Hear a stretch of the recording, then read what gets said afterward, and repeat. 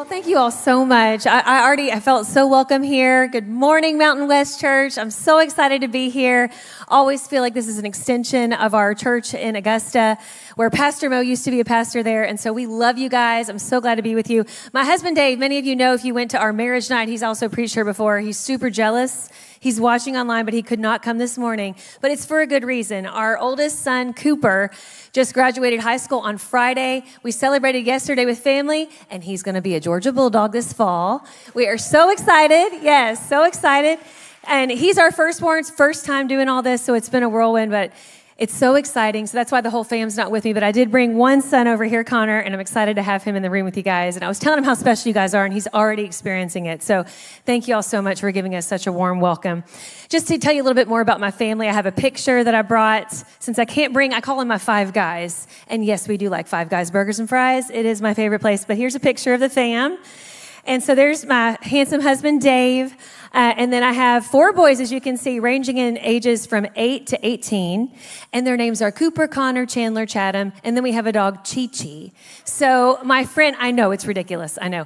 A friend of ours pointed out, she said, You have the Cocos and the Cha Chas. And that was before we had the Chi Chi. So, like, we really have a theme going. I trip over their names on the daily, but they know who, they know who I'm talking to. And so it's a lot of fun at our house. I'm actually, I'm going to talk to you guys this morning about peace okay? And years ago, I set out on a quest to discover what does God's peace really mean? Because right when I was in the thick of, I wrote a book about it called Peace Pirates, if you'd like to check it out. But right when in the thick of, as I was writing this book, it's before COVID, and I was really in the thick of, of, of, raising young kids and kind of, I approached it from the perspective of kind of in my, my life as a mom, as a wife, as a worker, as a friend, as a daughter, like how do I have peace when life can be so hard sometimes. Because back then, I kind of understood peace as like silence, okay? And I know a lot of you parents in the room, like they just said, it's summertime now. You're going to have kids at home more. And like we crave silence, but we know it's very elusive, right? And I used to think if I could just have a quiet moment as a mom, maybe I could have some peace. And there was one morning years ago, it was a Saturday morning. Dave and I were doing laundry together, like folding towels. We got all the kids set up, kind of doing, you know, I think the older two were playing video games. The younger two had like Legos and little things they were doing. And anyway, so we get talking. Dave and I are folding towels and talking. And I'm telling you, having a nice talk where it's kind of quieter, right? With your spouse is kind of blissful. And so I think we got carried away. We were really having a great conversation, folding the towels. And all of a sudden, I realized it's way too quiet, okay? Because I had been a parent for a while by then, and I realized like silence is not the goal because silence means something bad's happened, right? And so all of a sudden, like my heart sinks, and I'm like, okay, let me let me like make sure I know where all the kids are. And so we're like, okay, there, there's Chandler. Okay, Cooper and Connor, where are you? Are you playing your game still? Yeah, we're good, mom. And then all of a sudden, I'm like, oh no, our youngest, who at the time was like two, okay, two. He had been playing with his little, I think, cars, and there was like all different kinds of toys kind of on the floor and he wasn't there. And so literally I'm like, oh my gosh. So we all start yelling, Chatham, Chatham, where are you? Where are you? And everybody's like, you know, it's go time. We're all trying to find him. And then all of a sudden I look at our kitchen and we had a half bath off of our kitchen in that particular house. And I see light in there and I thought, oh my gosh. Number four is actually using the potty. Like potty training is going to be easier with him. Like we'd been working on it and somehow he turned on the light. Like it's not making logical sense. But I'm like, okay, let me go see what he's doing in there. So I go over, and there, to my joy and delight, is my precious little two year old. And I mean, I, you know, as a parent, you have that panic, even if it's a few minutes. And so I finally felt relief. But then, to my curiosity, I was like, okay, I'm so glad he's safe. I'm so glad I know where he is. But what is this black stuff on his mouth? Yeah, yeah, okay and he's just toothy grin and he's got black stuff like all over his mouth. So, of course, I start scanning him and I see in his precious little hand there is a sopping wet Oreo. Okay, not even sure where. Like, I didn't even know we had Oreos. Okay, so I'm like, where was under the couch? Like, what was this? Sopping wet Oreo that he has been dipping in the toilet. He proceeds to dip it. Yeah, you didn't know it was going there. I know. I know. Dipping it in the toilet and then he eats it. And literally, Dave and I are like, no. We run to him and I sweep him up because he's real proud of himself, okay? And, and we're like, I don't know about you, a house with four boys, People rarely flush a toilet, so I'm not even trying to see what's in there, okay? I'm like, I'm literally like, ugh, you know. And so Dave and I sweep him up. I think I gagged him because I was like, I don't know what's on there. And then we're washing him off, and it's like all of a sudden we're fine. We can laugh about it now. But in that moment, I thought, man, that, there's no peace in that moment, right? No peace in your toddler dipping an Oreo in the toilet and eating it, right? And, and we can laugh about that now, and he's just fine. He probably just built some antibodies. That's at least what I'm going to tell myself. I tell myself that a lot with a lot of situations.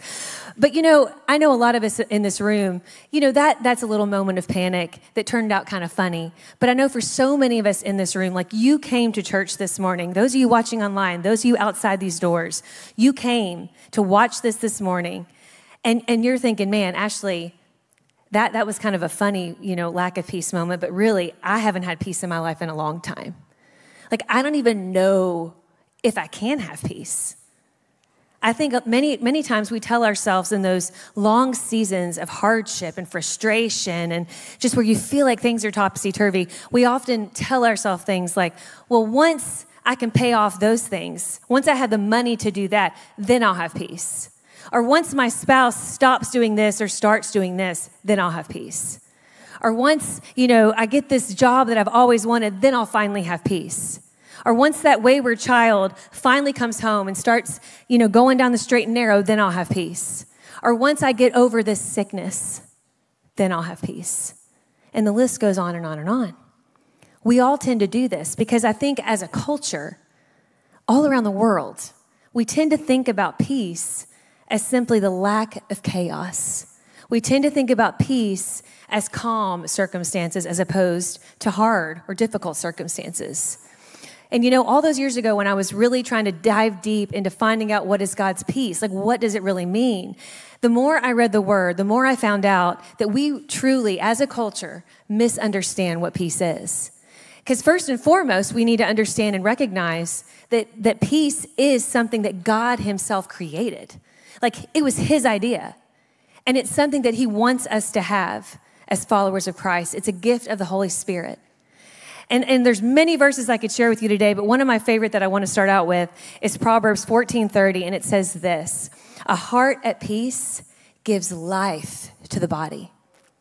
You know, when we feel like we have peace in our life and our heart is at peace, don't we feel like we could do just about anything? That we could get through just about any circumstance? It's like, you know, whatever comes my way, I'm still going to get through it, like, because we're at peace. And God wants us to be at peace. And there's many more verses that we can share, you know, that we can talk about today about peace. But one big thing we need to understand when it comes to all the verses about peace, I saw this common theme throughout, and I think that we need to understand that God's peace is not the absence of chaos, but it's the presence of our Creator. So it's not the absence of something that defines God's peace, but it's all about His presence. And so when we shift our thinking about peace and stop waiting for these different calm circumstances to come and for our chaotic circumstances to go and realize that it's all about Him and not about what's happening right down here on earth, right? When it comes to peace, it really, it really changes our perspective. You know, I love how in the New Testament, uh, we see, you know, peace is talked about in both the Old and the New Testament. And Jesus himself talked about peace quite a bit as well. And there's a lot of verses I could share, but I love John 14, 27. It says this this is Jesus speaking. He says, Peace I leave with you, peace I give to you, not as the world gives to you. Let not your hearts be troubled, neither let them be afraid. You know, I love it that when this was recorded and who Jesus was speaking to, he knew that those human beings, because he, he experienced what it's like. You know, I think sometimes we forget, like, he lived on this earth. He knows. He knows we're prone to being afraid. He knows we're prone to not understanding what peace really is. And you know, God's peace, one of my other favorite verses is it says that his peace is the kind of peace that surpasses understanding. That's the kind of peace our God gives. Because an unbelieving world will look at us as Christian believers when we have peace in the midst of hard circumstances, not after the hard circumstances, but in the midst of the hard circumstances. When we have peace, an unbelieving world looks at us and thinks that doesn't make sense. But it's not supposed to make sense to them because it's peace that surpasses our human understanding. It's a supernatural kind of peace, it's an eternal kind of peace that no one can take away from us, especially when we understand what it really is. And I love that. And to me, that's good news because it means I don't have to wait for it, that it's right there for the taking. But there are things I need to do in order to have more peace in my life. And there's things you can do to have more peace in your life. You know, I didn't want to leave it there. I wanted to really di- dive deep into okay, I know that the Old Testament was Hebrew, and when they translated the Hebrew words to English words, a lot of times there's not just one English word that can capture the full meaning of the Hebrew word. And when it comes to peace, it's no different. The Hebrew word for peace is the word shalom. Many of you may have heard that before. If you've ever gone to Israel, you may have heard them greet you by saying shalom. They don't just say hello, but they say shalom which basically means, you know, have God's peace, which I think is so beautiful. And it's something they very highly value, this concept of shalom. And so when I was looking up shalom, the Hebrew word for peace, I wanted to see that full definition. Like, what are some other English words that really give me a clearer picture of what God's peace is? And I found that the word wholeness is something in how they, they translate God's peace, shalom. And I love that because, again, it goes back to that verse that a heart at peace gives life to the body. A heart at peace makes us feel whole. Another definition is it means lacking nothing. So that when we have God's peace, His presence in our life, we lack nothing, no matter what we're facing. And I love that. In fact, I would challenge you to take verses where it has peace and replace that word with wholeness and see how it changes the meaning of that verse. It gives a clearer picture of what God's peace really means. So I'm studying, you know, what the Hebrew word for, for peace is, and I'm really learning about shalom. But I wanted to take it a step further, and I thought, you know, I wonder how the early Hebrews, like the ancient Hebrews, wrote the word shalom to each other because I know it's an important word. I know it's all throughout the Old Testament and it's in the New Testament. But how did the ancient Hebrews write this word shalom to each other? And what I discovered was that there is actually an ancient Hebrew lexicon that is really word pictures. They're symbols that capture the essence of a word, very similar to like ancient, um, ancient Egyptian hieroglyphics. It's very similar. And I didn't even know this. I don't know about you, but I was like, this is news to me. How did I not know this? And when I looked up the earliest way that they wrote the word shalom to each other, what I found blew my mind. It blew my mind because you see, it's four symbols. And these four symbols put together literally define what God's peace is. So I'm going to share it up here with you. So we're going to put the word shalom on the screen. It looks like this. Now, back then they didn't read the same direction we do. So we're going to go right to left. So if you follow with me, we're going to start with this far symbol here, and it's animal teeth. And animal teeth stand for breaking. And then moving this direction, you have a shepherd's staff pointed down. It's as if a shepherd is hooking a sheep's neck and bringing the, the sheep to him. That stands for authority. The next symbol is a tent peg, which stands for attached to or established by. And that last symbol, it looks probably pretty obvious to a lot of us in this room. It's choppy waters, which stands for chaos. So if you're following along with me, the earliest way that the ancient Hebrews would write the word shalom to each other and how they would define it to each other, because they're spelling it out, right? They're, they're painting a picture of what this word means with these symbols. It means this God's peace is God breaking the authority established by or attached to chaos. Breaking the authority established by or attached to chaos. And I don't know about you, but that blew my mind because the earliest form of God's peace, shalom, and how they would write it to each other, they understood this. They understood that it's not about the circumstances we're facing in order to have peace. It has nothing to do with that, but everything to do with the authority that we give those chaotic circumstances in our life. Because we have a choice. We have a choice of who we follow. And we need to choose to surrender our chaotic circumstances, people, places, things in our life to God because we need to be under His authority. That thing that seems to be ruling our life, that diagnosis, that per- toxic person, that hard situation, that relationship that's gone south, all those things are hard. And we've got to process through those emotions. But none of those things are supposed to be our authority. They are not meant to be our North Star. It's not meant to define our life. Only God can do that. Only God is meant to be our shepherd, and He is our good shepherd. and he will not lead us astray. And not only that, but he's with us through all of it. He says he will be with us no matter what we're facing. And as I was studying shalom, I came across a word I didn't even know existed that's very similar in some of the symbols they use, but has a very different meaning than the word shalom. And that's the word shalal. And it's S H A L A L, shalal. And it actually uses some of the same symbols. It uses the authority symbol and the teeth symbol, and it means taking or seizing authority by destructive means.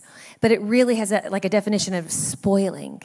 And as I was kind of learning about shalal, it made me think of some very familiar verses that you, you might be thinking of right now. And that's John 10 10, where it says this The thief comes only to steal, kill, and destroy. But I, this is Jesus talking, I, Jesus, have come that they may have life and have it to the full. You see, we have an enemy that doesn't want us to have God's peace. He wants to convince us that we have to live in shame, that we have to wait for XYZ to happen before we can ever have God's peace. He wants to distract us. He wants to keep us busy and worn out and just lacking, right? The opposite of shalom. When shalom means wholeness, lacking nothing, shalal is lacking.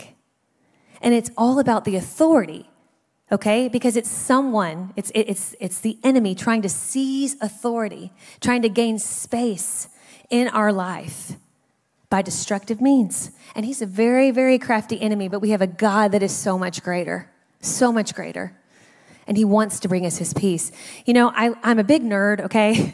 and I, I will admit it all day long, but I totally geek out when nature, God's creation, mimics God's concepts or things he's trying to help us understand. And if you're really looking for it, you'll see it all the time. And that's why we see this imagery in the Bible where it often talks about nature and, and explaining things. And so um, recently, I guess about four years ago, I had a big birthday. We had a big anniversary, and my husband Dave was like, what, what do you want? What do you want for this? You know, what do you want for your birthday or what do you want for the anniversary? And I was like, I really just want a, a cool experience because I'm not really a big gift person, but I love experiences. Like, I'm like, let's go make a memory, you know? And so he's like, well, where do you want to go? And I was like, let's go someplace we can hike, like a really cool place we've never seen. And we ended up landing on Costa Rica, which is just beautiful, fairly easy to get to depending on where you go, it can be, you know, pretty inexpensive compared to some other places. And since we were going to hike, I was like, let's find a really cool place. So we went to the arm of Costa Rica where they have all these rainforests. And we found a place that was a volcanic rainforest. And I would equate it to like, um, Yellowstone National Forest with a rainforest all put together. So you had like all this canopy of green trees and birds, spider monkeys, okay? Yes, spider monkeys who are strangely close to how my kids acted when they were younger. I used to tease them about it. I used to literally be like, stop acting like spider monkeys. And then I went to Costa Rica and was like, they really were, in fact, acting like spider monkeys. Like, it's crazy how, how kids can act like this, okay? Um, but you know, anyway, so we're seeing spider monkeys, but then you have like steam coming up from the ground. You have geysers. I mean, it's just the coolest thing. I'm like, I'm in Narnia, okay? And so Dave and I went and hiked two miles. We had this guide with us. He's pointing out all the different biodiversity, the plants and the birds and the animals. It's just so cool. And I kept on seeing this one tree that he never explained what it was. And so I stopped him and I said, Can you tell me what this tree is? And I'm going to show you a picture of it up here.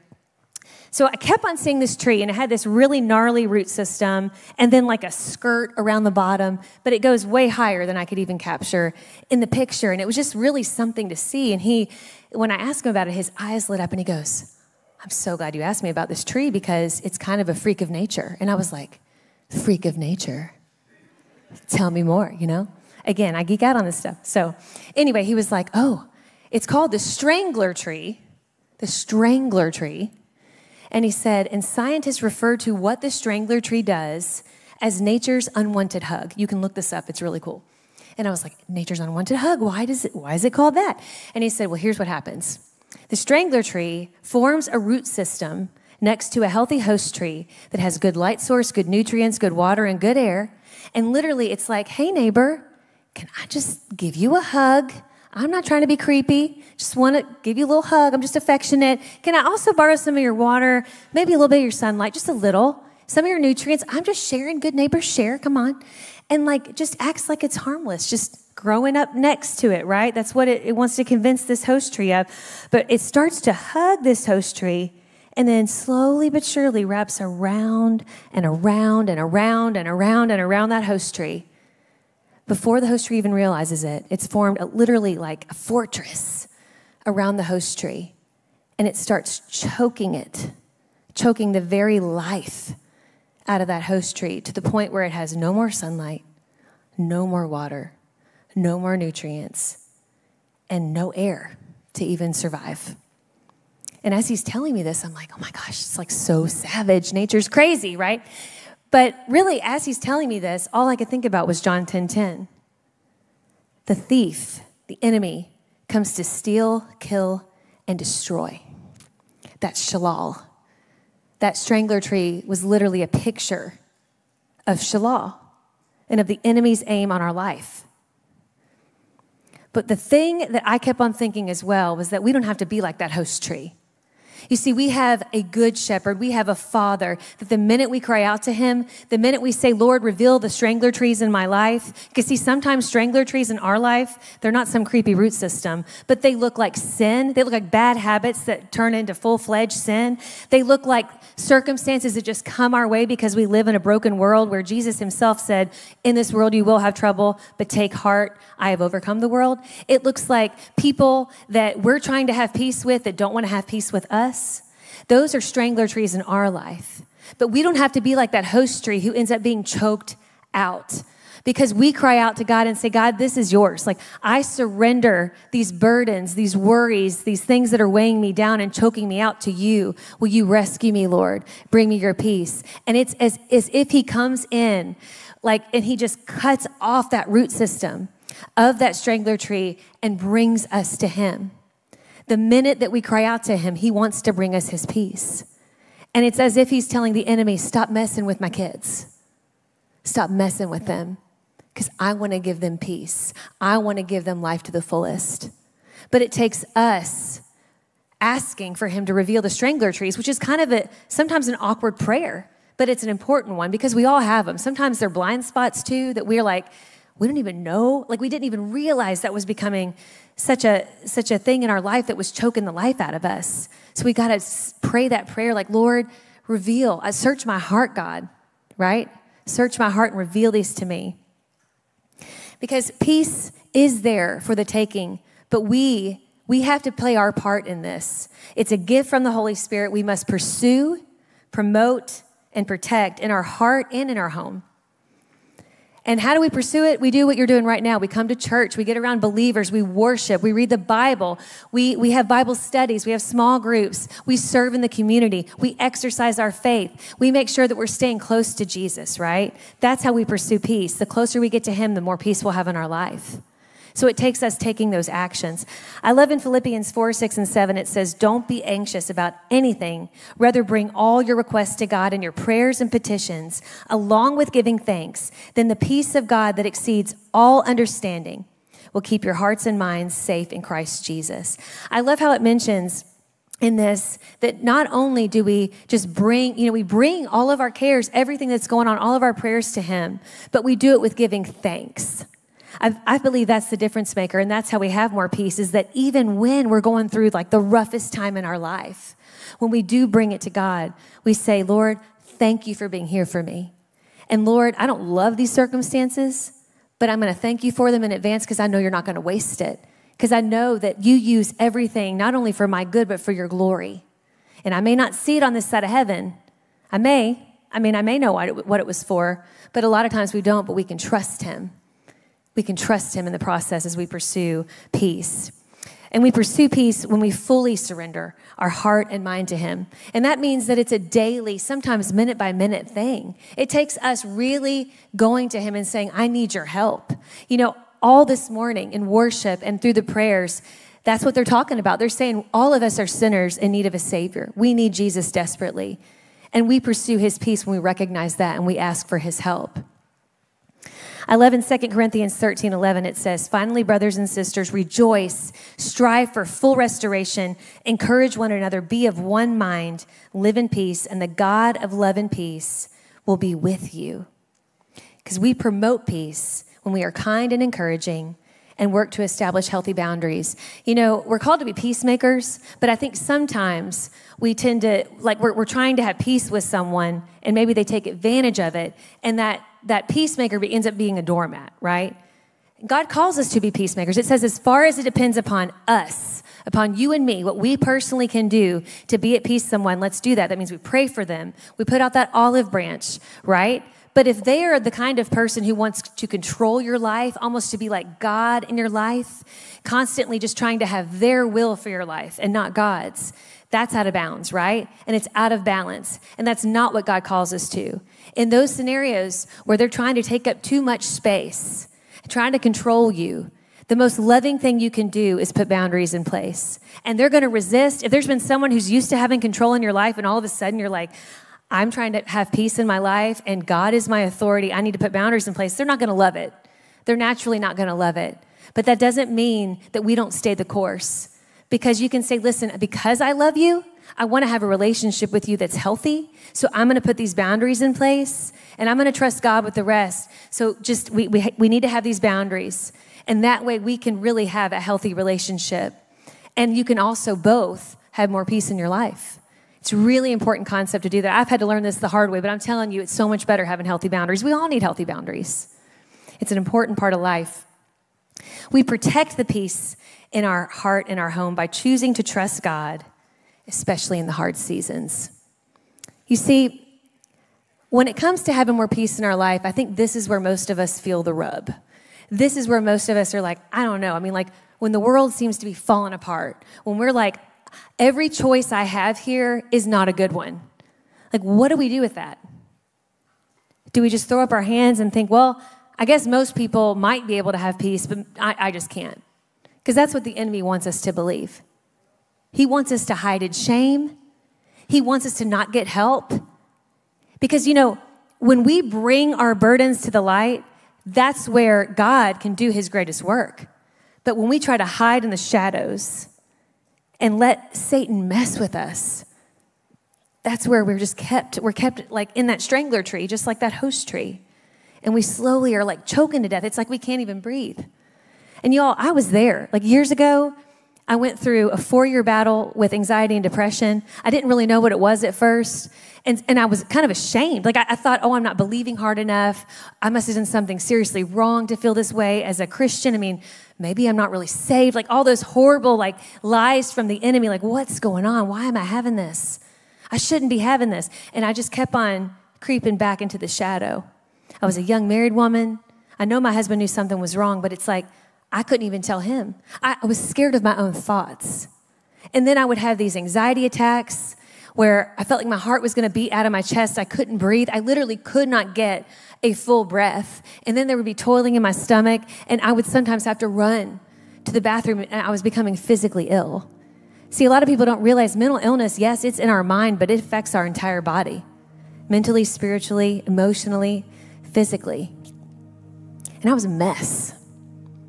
But you know, every time I cried out to the Lord, even if it was on the bathroom floor and I'm sweaty after having an anxiety attack and getting sick, he would meet me right, right there. He's close to the brokenhearted. He helps the weary. In our weakness, we are strong. And He gives us peace, just enough that we need at that time.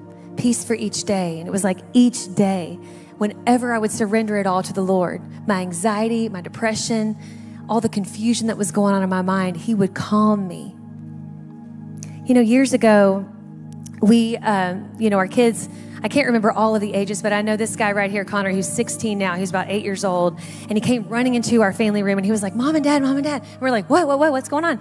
He said, I need you to come to our back screened in porch. We had this little screened in porch that had a lot of flowering plants around it. And we loved to watch the bumblebees doing their work. And then there'd be hummingbirds that would come. Well, for some reason, I guess the door had gotten left open and a hummingbird had gotten trapped in our screened in porch. And this hummingbird was up high in our screened in porch and frantically flying back and forth and was so scared that he was hitting himself against the walls. And Connor had tried to help him, like see the door was open this whole time, but it's like he couldn't see it. And so Connor's like, we gotta help him, we gotta help him. And so first we start like, go out, you know, like we're doing like like thinking it can, like a traffic control person, you know. And the bird is just freaked out, like the giants are coming to get me, okay. And so like that didn't work. So then Dave's like, let's get a broom, and I'm like, oh my gosh, we're gonna really freak this little thing out because Connor's like, his heart's gonna beat out of his chest, or he's gonna knock himself out on the wall. We got to do something. Dave's like, I'll get a broom. So he gets this broom, thinking he could like lower him somehow, and he starts flying even more frantic. So then Dave gets a bag, and he's like, I'll just bag him up, and that just freaks out the bird, and Dave's about falling off the stool trying to bag this bird. We can't get him. And then we're like, oh, hummingbirds like nectar. Let's get nectar. And so we're like, we get the nectar on the stool, and we're like, come down. There's nectar, you know? And he doesn't want to come down. So then I literally put my fingers in the nectar and I flick him with it. I'm like, we're nice.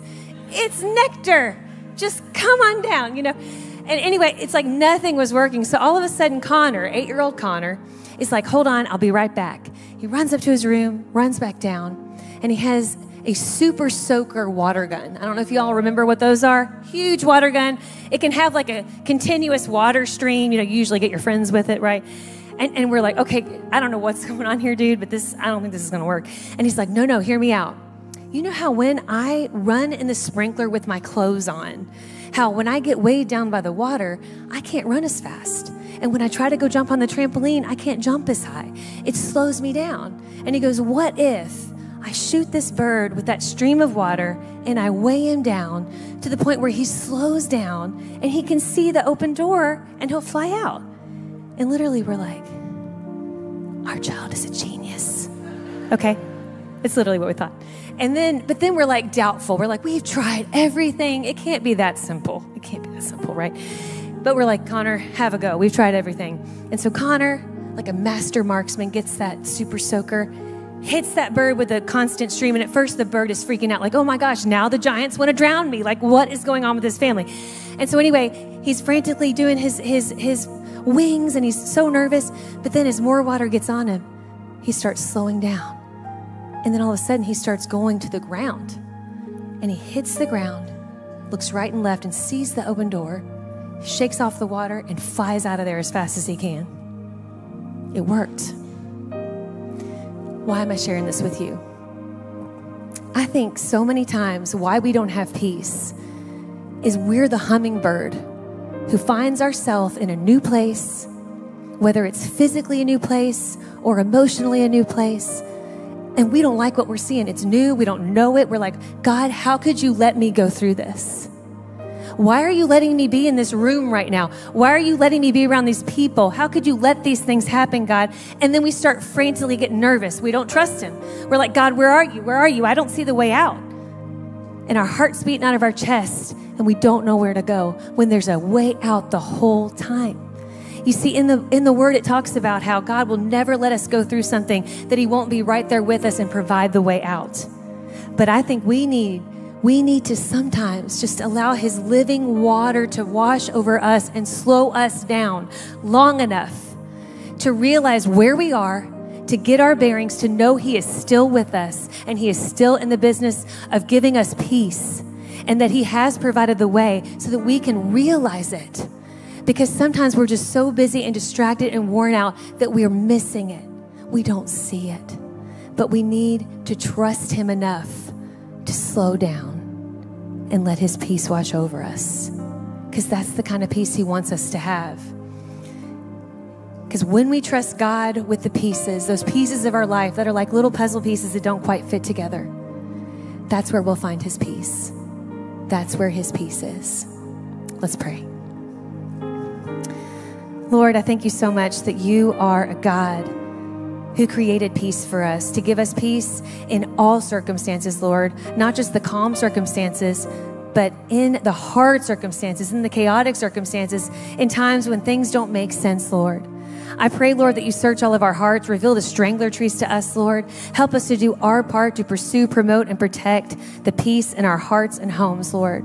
And for those that don't know you, Lord, that don't yet know you, I pray, Lord, today that they choose to follow you they start reading about you. They come to this church week after week and learn about you, Lord.